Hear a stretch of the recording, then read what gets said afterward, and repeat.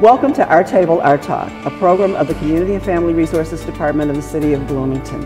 In honor of Black History Month, we're talking about issues involving African Americans living in Bloomington. These conversations are in no way meant to be only for African Americans, however.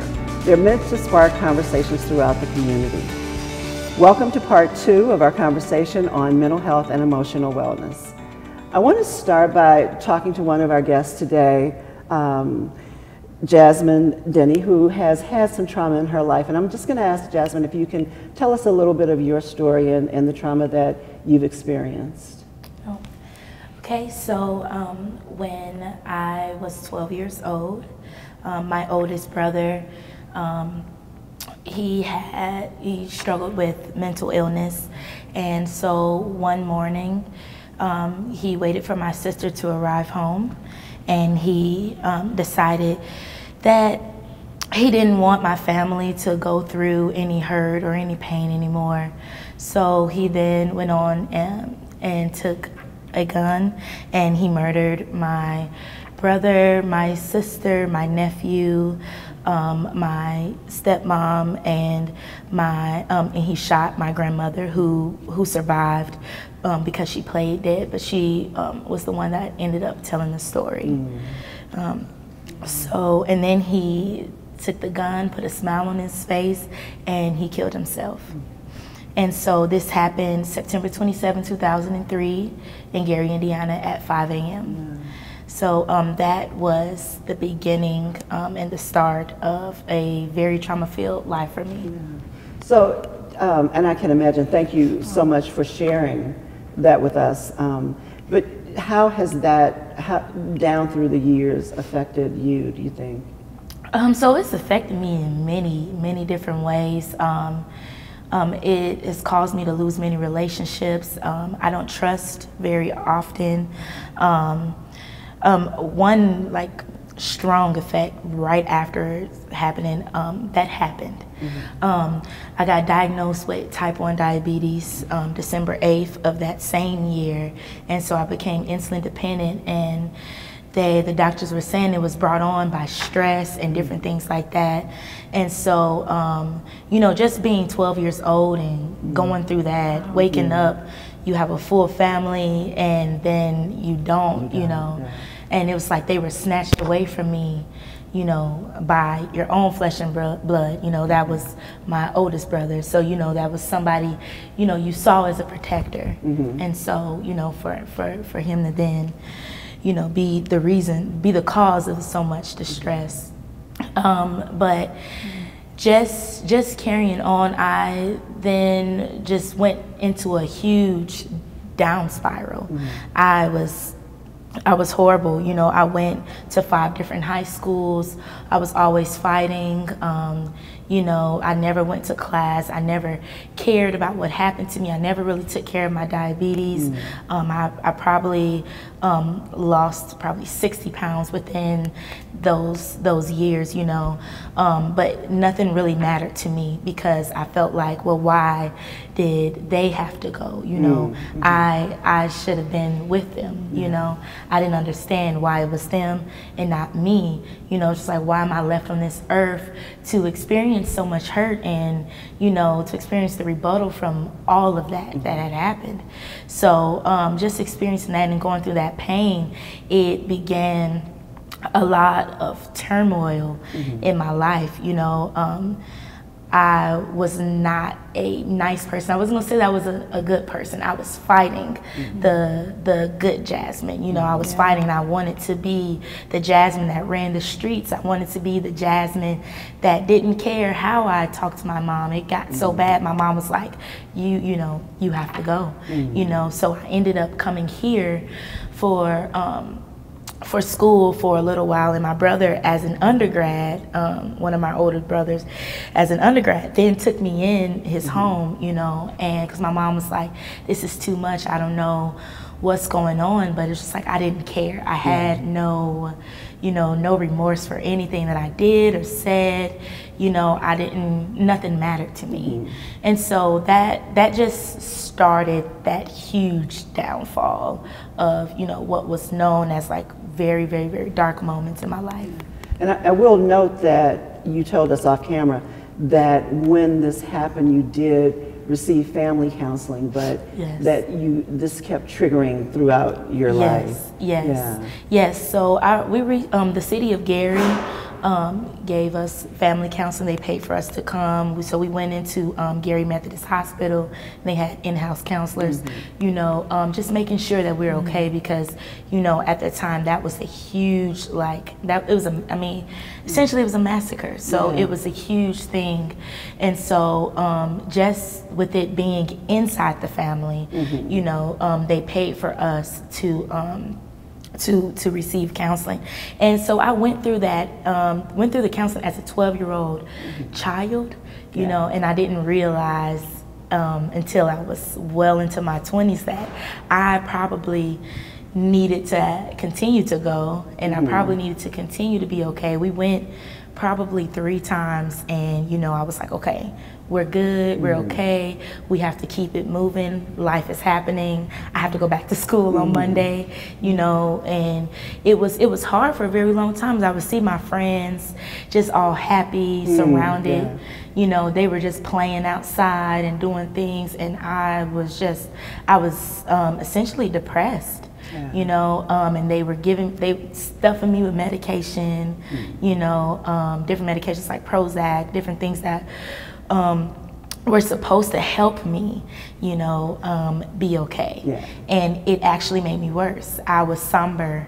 I was like, okay, yeah, I don't, I don't care. You know, I have no feelings about you or anything that you're talking about. You know, and it, it, it just, it just started like a huge downfall. Roller coaster. Yeah. Rhemma, I want to ask you. I mean, I, there are people that, and women especially, that suffer trauma a lot, almost every day. Not to the level of, of Jasmine, um, but whether it's sexual assault or uh, abandonment or things like that. And and I think a lot of times that's held in. Internalized, yeah, Yeah, internalized, and. Um, you know, and, and we don't realize that it can trigger Yeah. over and over again. And can you talk about um, some of that and how that that works? Yeah, definitely. So, you know, thank you for sharing and being so open. A couple things that stick out just with trauma and even uh, trauma that a whole family can experience. Everyone's taking away their individual um, kind of perception of what happened and internalizing a belief. So when you bring up um, black women specifically, uh, we see a lot of role models and, you know, it's just kind of portrayed to us to just be strong. And so even as you mentioned being 12 years old, I wonder how much of that is, you know, just pick up and move on, right? We've given you three sessions and not seeing that, hey, this might need to follow you throughout, you know, you're going through adolescence, which is already a hard time, but right off of this trauma.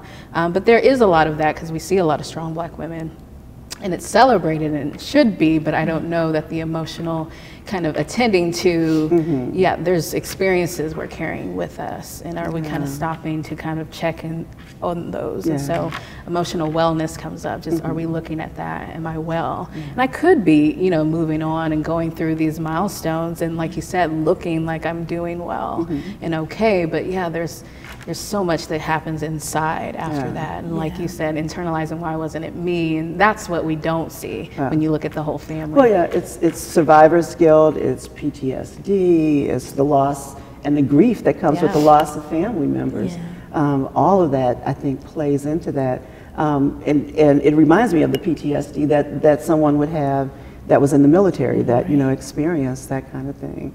Um, and I know that, that that, you know, just anything, a, a sound, a Yeah. bump in the road, or anything can just trigger. Smell, yeah, yeah. and take you right back. Have you had, had some of that? Oh, very much so. So for me, it was bathtubs because we had to have the funeral in a convention center, and we had a four casket funeral only because my nephew was buried with my sister. Um, um, he, um, everyone else had a single shot. Um, that that passed away had a single shot, but my nephew woke up crying. And so my sister woke up from hearing from hearing him crying, and so she was protecting him. So they um, were taken out with 14 bullets.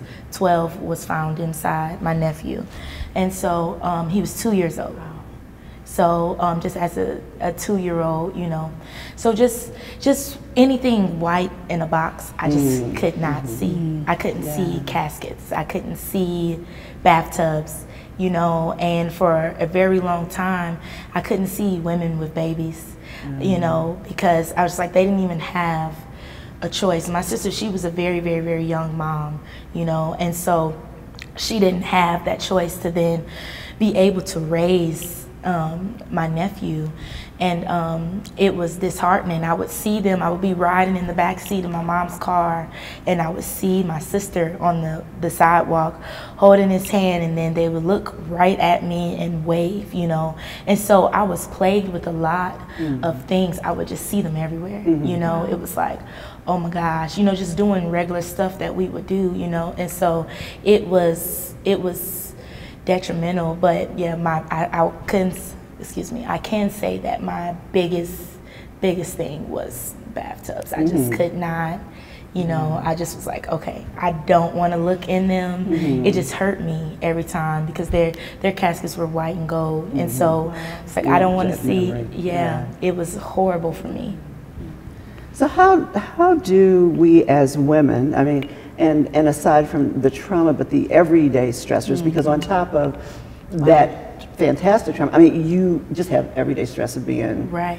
black in America, or a female in America, or a black female in America.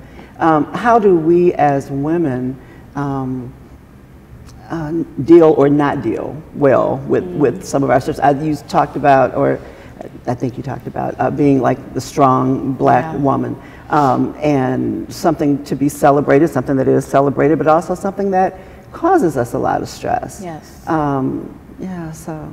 I feel, you know, to speak to how do we, I think just recognizing it too and making spaces where it is okay to have those moments. And so I think of a, a time I was at a conference and, you know, they had us do this activity uh, where we kind of listed out our identity or, you know, just words, just very brief.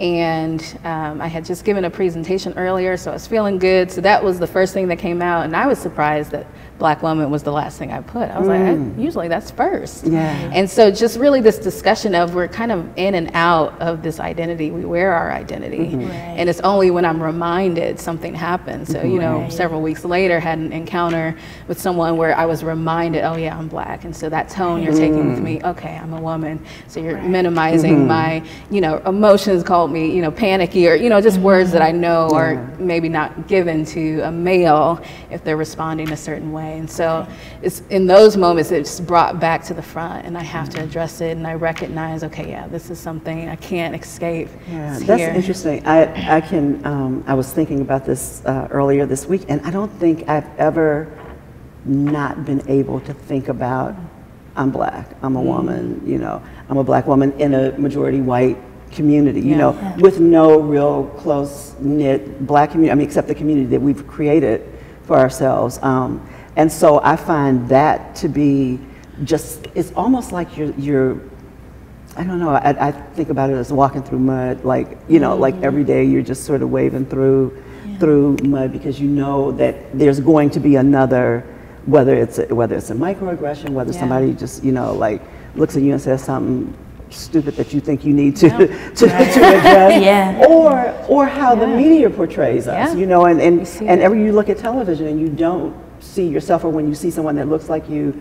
It's nothing like you, Not you representative, know. It's not representative at all. And, and so I think that there are always these things coming at us.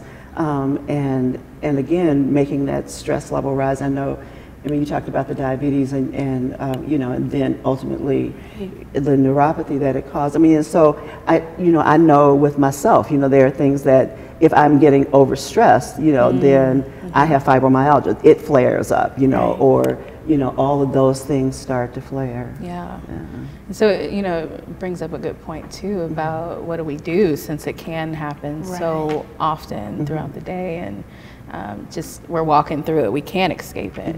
Um, and so I think it is that where are my safe spaces? Mm-hmm. Uh, maybe it's friends that you don't have to explain it to. You know, I think there's difference. I think there are people who can be supportive and want to hear you, but then there are people I don't maybe have to lead in right. with what just happened, or you know, mm-hmm. have a lot of questions. Yeah. You'll just get it if I right. say this is how they responded, mm-hmm. and yeah. you know, it brings up that feeling um, that someone else could recognize, mm-hmm. um, and then just knowing um, from that support, just getting that confidence in this is, you know, it's not who I am, you know, like mm-hmm. just almost like having to just have this automatic yeah. kind of, uh, you know, I heard it, don't have to keep it, throw it back out. Right. This is the reality of it. And um, being able to vent for me is helpful. Mm-hmm. And I found, you know, just going to other folks and just sharing that was enough. It was like yeah. a weight lifted because it happens. Yeah. You can start thinking, am I crazy? Am I just being sensitive? Mm-hmm. You know, all these things. Right. It's like, no, that yeah. was out of line. You know, and so it's just even hearing that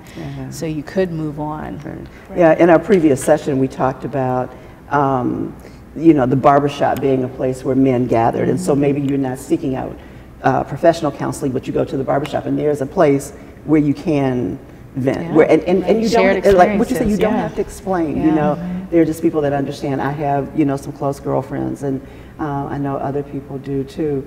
Uh, but a lot of times, professional counseling is, you know, required or, or necessary. Um, but then there's also sometimes a reluctance, and I think mm. especially for us, I told someone the story about my mom. I mean, my mom is that is she's hardcore. Suck it up, right? You yeah. know, suck it up and keep it moving. You know, yeah. because yeah. We don't have time. You know, we don't we don't have time for that. And so I had to come to the point where it's like, okay, I can't suck this up mm-hmm. anymore, you know, mm-hmm. um, and I'm and I'm going to have to do something different. And so I don't know if you found that in your life as well, or yes, yes. So I've just come to the realization that I have to allow myself to feel things. Mm. I have to stay in that moment, acknowledge what's going on, you know, um, accept it, and not beat myself up about it. You know, I have to be able to be okay or else I would just like bottle everything mm-hmm. in and just let it sit and sit and sit until I explode, you know, and then, you know, I come off, you know, um, like a stereotypical black woman mm-hmm. as society mm-hmm. would say, you know, come off angry, as angry, black woman, yes, yeah. or yeah. crazy, you know, yeah. just like you know, and you know, I'm not that at all. It's just I've been through a lot, and if you, I didn't have the tools, you know, to deal with it. You know, it was very much so that suck it up. You have to keep it moving. Mm-hmm. You know, mm-hmm. I went to school the next week. You know, wow. um, you know, that's something that I feel like I should have just maybe taken some more time, mm-hmm. you know, been able to deal with it. But, you know, if you aren't prepared for something like right. that, it's like, well, then what do you do? And who prepares for that? Yeah, right. right. Yeah, you can't right. be prepared. exactly. Yeah. Yeah. But I think it's important too that some of the stigma that comes along with, with mental health and and, and, and I don't even want to say mental illness because I think it's just mm-hmm. a matter of being healthy. healthy yeah. um, that, that we try to diminish that stigma and that and um, you know that comes yeah. in, and it's not just in the black community; yeah. it's in the it's community at large. Yeah. But it was interesting, you know. I was like, when you were talking about that, I was thinking we can either be the strong black woman or we can be the mm-hmm. angry black woman. Right. Like there's, no, there's in no in between for us. No, yeah, there's no in between. Yeah.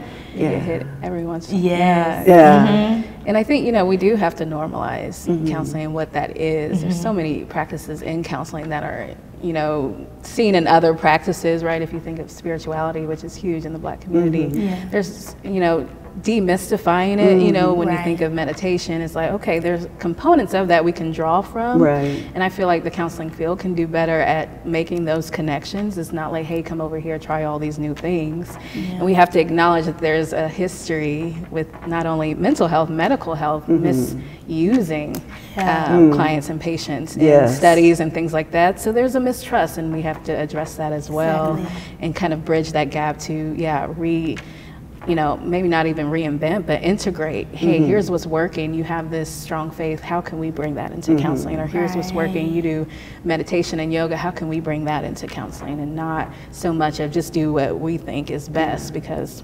So, so are there practices that do that, that sort of try to com- combine it and, and look at it in a more holistic way with your faith or your, your spiritual um, practices or beliefs and bring that into the counseling Definitely. Realm? And I think more so now, just seeing that um, there is like a, I think, within larger society a push for just overall wellness. Mm-hmm. And so I think we can really maximize that and just, oh, I want to be well. And so if we make it kind of like this, oh, okay, everybody's got their yoga studio, Yeah. everybody's got this, and now I got my counselor. And I think it's starting to come in that way. And I could see it going into other communities that way. Like, this is my wellness Mm-hmm. Yeah. team, basically. yeah, and that, and that makes sense. I mean, Yeah. I have seen, and- unfortunately, I've seen religion Mm. and churches sometimes not. Oh, yeah. Yeah, Yeah, yeah. don't do this. You Yeah, should, be, do- should be fine because you're here. Right. Right. Yeah, you should be Because like have your in faith, church, you know. And if you pray more, Yeah. you know, or if you pray harder, Yeah. you know, or and, and, and especially because I've worked in the area of domestic abuse, Mm. um, it's, um, and and to see people being sent back to abusive situations, and um, because that's what the religion says, and so I, that.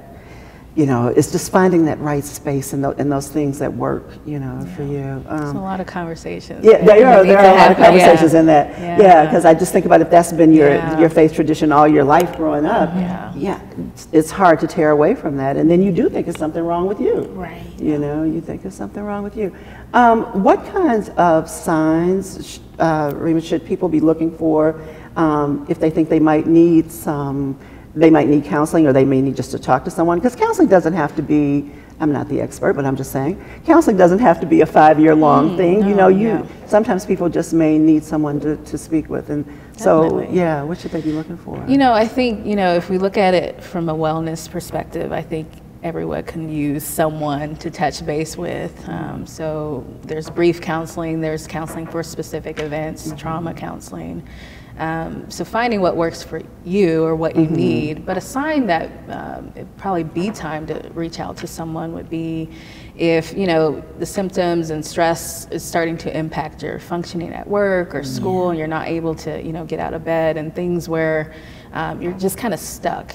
And sometimes it can really just help boost that and give you the tools. But yeah, the goal is for you to be able to do these on your own there are certain things that yeah may take a little bit longer but um, just the nature of unraveling things may uncover but yeah for a majority of people sometimes you know brief counseling is all they need to really get you know some i'm so amazed over when the hump. clients Yeah. come in you know and they just talk and hear themselves and that's what Yeah. they needed they just needed a space where it was okay not someone they knew who had some type of investment in them being better that's Mm-hmm. Yeah. sometimes the issue with going to friends friends don't want you to be sad so they're going to tell you don't be sad give you a tissue don't cry Yeah. all these things but where Yeah. can i go to cry if i just need to right. do that And sometimes you And just need to cry. yeah, Yeah. and then you're fine, you know, and so it helps them see, oh, okay, all this was in me anyways. I just Yeah. needed to do it. Mm-hmm. Yeah. And so, you know, I, I would say don't hesitate to reach out. It doesn't mean you're going to be locked in, like you said, Right, for five yeah, years. Yeah, you know, and I Yeah. know that, that sometimes it can be expensive. Sometimes, Mm-hmm. you know,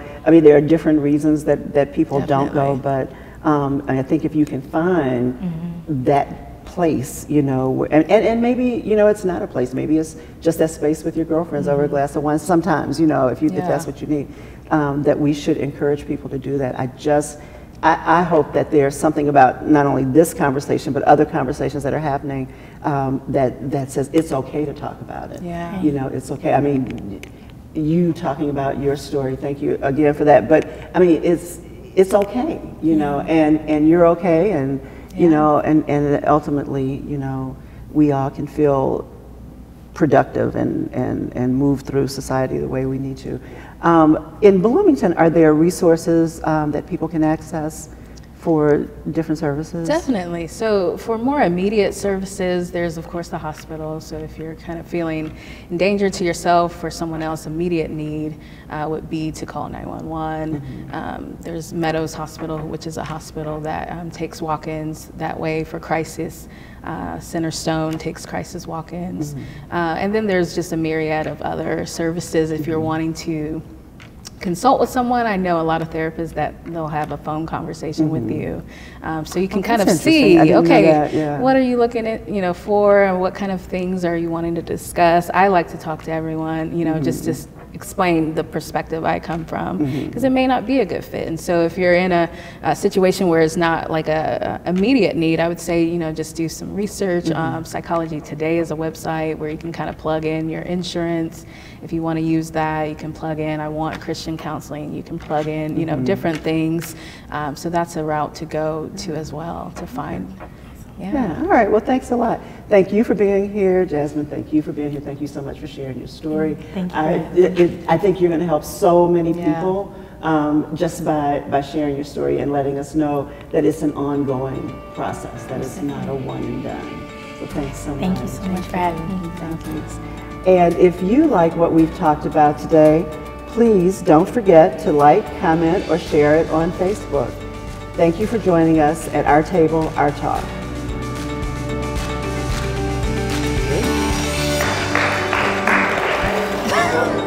I was so afraid I was gonna go look in the camera.